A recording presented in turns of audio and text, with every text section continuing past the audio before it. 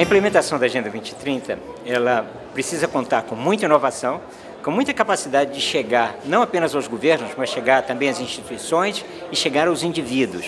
E para isso que uma, uma, uma instituição muito criativa como é o TEDx é um parceiro ideal para a etapa que nós estamos agora.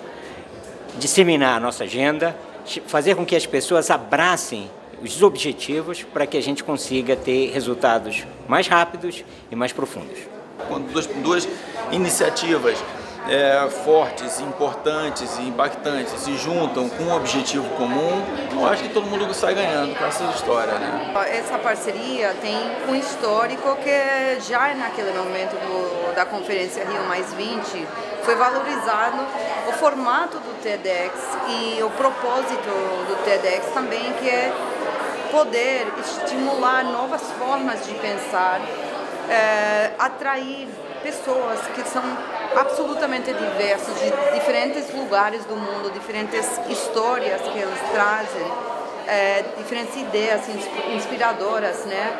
E eu acho que para nós esse, essa agenda de desenvolvimento sustentável, nós como centro temos esse mandato de poder é, difundir um pouco e sensibilizar todo mundo sobre essa agenda.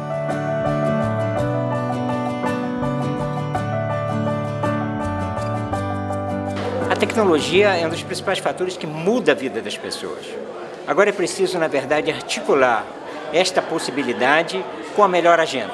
Uma agenda de sustentabilidade, agenda que nos leve todos a um mundo melhor, um mundo transformado, que é melhor para o planeta e é melhor para as pessoas que vivem neste planeta.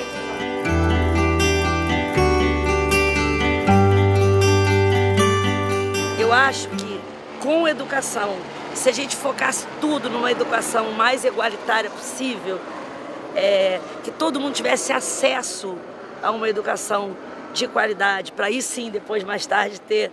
É, poder trabalhar com a meritocracia, como aqui ou em grandes universidades, poder realmente ter acesso à mesma educação, todos esses outros, a paz, é, cuidar da, do meio ambiente, da água, a desigualdade social, tudo isso vinha a reboque. Para mim, assim, a educação é, é o único jeito de escolher uma e ir em frente, focar. Para mim, educação, educação, educação, educação.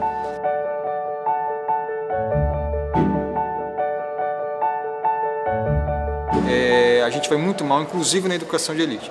Aí o ponto da minha argumentação foi o seguinte: não tem como, não tem saída para a educação, não tem ninguém está protegido na educação brasileira, rico ou pobre se a gente não enfrentar um problema estrutural que é os baixos salários dos professores, que significa que a carreira é pouco atrativa para, para os jovens que com mais vocação para ser professor, a má formação nos cursos de, de educação, que não preparam os professores para a realidade que eles vão enfrentar em sala de aula, e um currículo confuso, de baixa expectativa, é, e os professores sem suporte, sem apoio. Então, assim, tudo isso afeta não apenas o setor público, mas também o setor privado. Essa ideia de que a gente precisa pensar nas nossas crianças, não dá mais para pensar é, o modelo excludente que sempre marcou o Brasil, não serve mais. Não serve para os pobres que sempre foram excluídos dele, mas não serve mais para a elite.